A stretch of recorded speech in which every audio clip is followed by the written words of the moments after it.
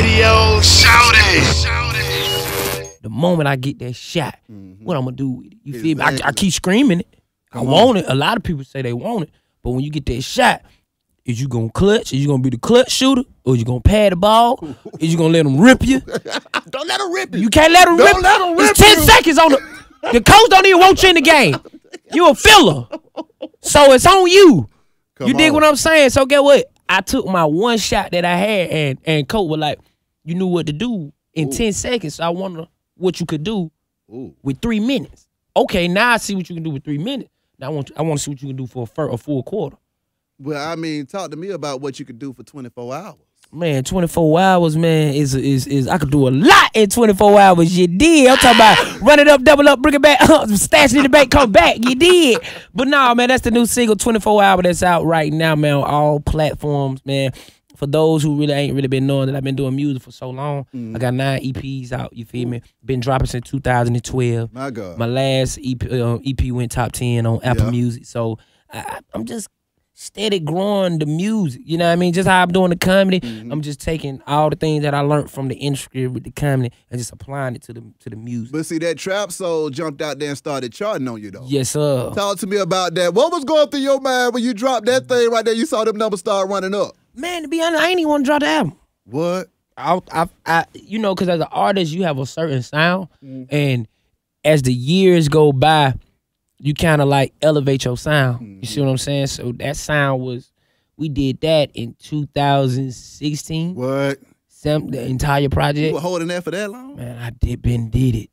Ben did it. I dropped my curb music. I did I I did curb music, Uh, recorded curb music after Trap Soul, my God. and drop curb music before Trap Soul. you know what I'm saying? So it, it was like, but but my uh, uh shout out to Nard and B man. They they uh trench work man. They were like, we just gonna drop it. Yeah. Literally like just drop it. And I'm like, all right, y'all, how y'all been? It? And man, we dropped it January 1st, man. That thing went top 10. You feel me? So it was just like music, you never know, bro. You know what I'm saying? I'm thinking I'm past that sound, but Yeah. the listeners wanted it the most.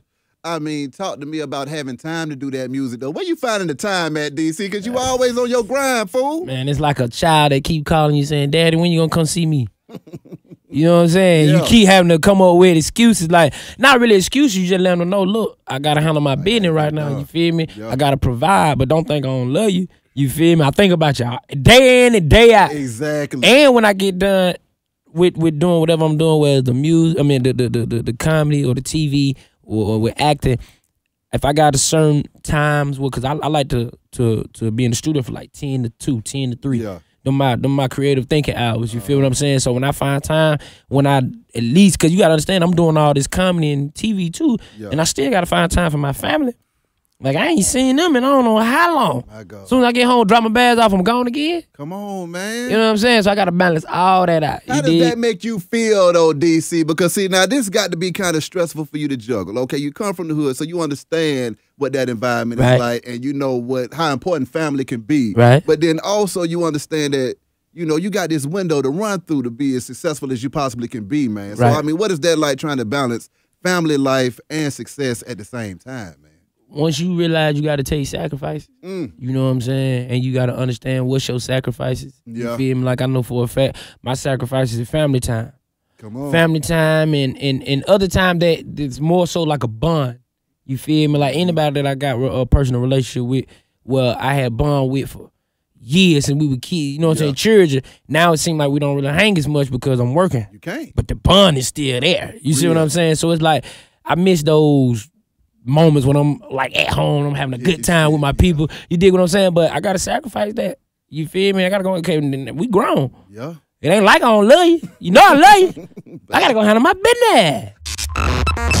Radio shout it.